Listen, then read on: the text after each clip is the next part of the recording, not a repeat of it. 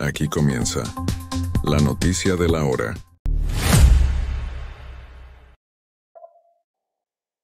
Ecuatorianos, esta es la noticia de la hora. Miren ustedes que hay más en este caso que de metástasis y otros que se están investigando. Eh, la doctora Yanine Villagómez reveló que la Fiscalía de Ecuador ha solicitado a la Corte Nacional de Justicia fijar una fecha y hora para formular cargos en su contra, así como contra otras figuras prominentes como Ronnie Aliaga, Claudia Garzón y Juan Pablo Jaramillo.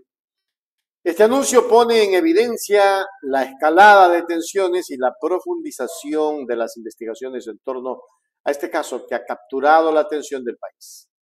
Las implicaciones de estas acciones legales podrían tener impacto significativo en el panorama político y social del Ecuador. Pero veamos qué es lo que dice la doctora Villalobos.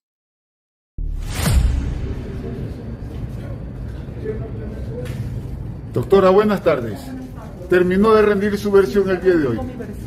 Doctora, ¿usted conoce que ha sido notificado, que ha, pedido día y hora para formularle cargo a la sí Conozco, ¿Y, ¿Y, cuál es el, ¿Y cuáles son los indicios, los elementos que tiene la Esta información estoy solicitando yo. Sí, por favor. doctora, y, doctora. Inocente. Doctora, se declara usted inocente de las investigaciones, porque no sé cuáles serán las acusaciones. Que necesito saber qué es lo que hay, por favor. Me defenderé conforme a derecho.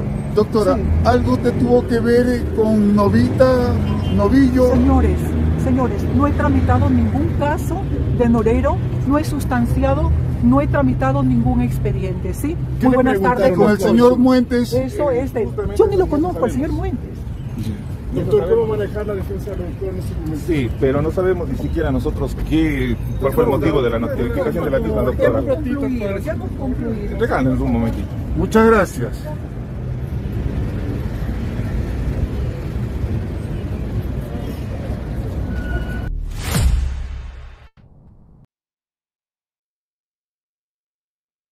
Yo ni lo conozco al señor Muentes. ¿Por qué se pone molesta? Simplemente bastaba decir, yo no lo conozco al señor Muentes.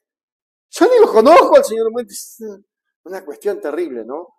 La comunidad ecuatoriana se encuentra en vilo ante el desarrollo de estos acontecimientos, a la espera de conocer los detalles y las acusaciones específicas en la Fiscalía. Ahora, estas acusaciones que la Fiscalía presentará contra los involucrados son las que mantienen alerta al Ecuador.